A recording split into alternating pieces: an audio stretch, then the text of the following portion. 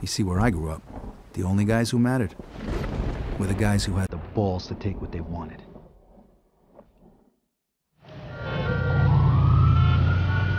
You'll have to explain this one to me, sonny boy.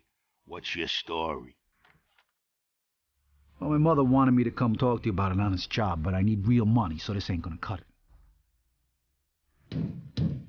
Wise guys, you work for them, you set. You fuck with them, you die.